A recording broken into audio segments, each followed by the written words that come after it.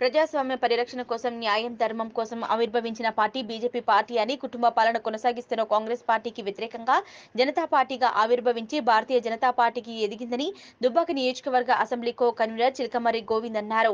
BJP నలభై మూడవ ఆవిర్భావ దినోత్సవం సందర్భంగా చేగుంట మండలంలోని పలు గ్రామాల్లో భారతీయ జనతా పార్టీ జెండా ఆవిష్కరణ చేశారు.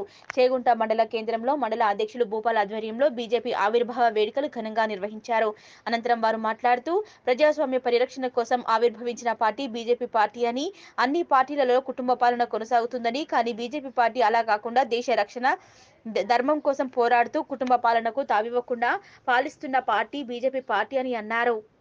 ఈ కార్యక్రమంలో భారతీయ జనతా పార్టీ మండల అధ్యక్షులు Chintala Bhupal Dubbaka assembly co convener Chilakamarri Govind మాజీ సర్పంచులు మందా బాలచంద్రం రఘువీరారావు చేగుంట పట్టణ అధ్యక్షులు సాయిరాజ్ బీజేవైఎం జిల్లా ఉపాధ్యక్షులు సాయి ప్రసాద్ చేగుంట బూత్ అధ్యక్షులు సాయిబాబా నరసింహగౌడ్ గడ్డమీది రఘుపతి భోగరాజు నరేష్ దుర్గం స్వామి మహేష్ తదితరులు పాల్గొన్నారు. దీన్ దయాళ్ ఉపాధ్యాయ గారు ఎల్కే అద్వానీ గారు వాజ్పేయి గారు నేతృత్వంలో పంతొమ్మిది వందల ఎనభై ఏప్రిల్ ఆరు తారీఖు రోజు పార్టీని భారతీయ జనతా పార్టీ ఆయుర్వేద దినోత్సవం జరిగింది. నేటికి నలభై మూడు సంవత్సరాల పూర్తి సందర్భంగా మేము ఘనంగా భారతీయ జనతా పార్టీ జెండా ఆవిష్కరణ చేసుకోవడం జరిగింది. భారతీయ జనతా పార్టీ ఆవిర్భావ దినోత్సవం చేగుంట మండలంతో ఉన్న గ్రామాల్లోని బూతులన్నిలో సహా మరి ఈరోజు పట్టణంలో కూడా విజయవంతంగా జెండా కార్యక్రమం నిర్వహించుకోవడం జరిగింది.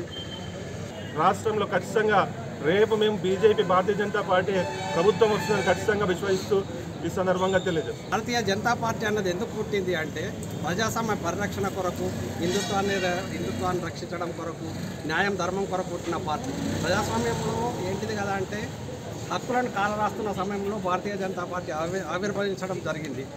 ఈ డబుల్ సర్కారు డబుల్ ఇంజన్ సర్కారు రావడం కొరకు ప్రతి కార్యకర్త కృషి చేయాలని ఈ ఆవిర్భావ దినోత్సవం పరంగా పరంగా అందరినీ కోరడం జరుగుతుంది. ఆవిర్భావ దినోత్సవం సందర్భంగా గ్రామ గ్రామాన దేశవ్యాప్తంగా గ్రామ గ్రామాన భారతీయ జనతా పార్టీ జెండా ఆవిష్కరణలు కన్నుల పండుగగా జరుగుతున్నాయి.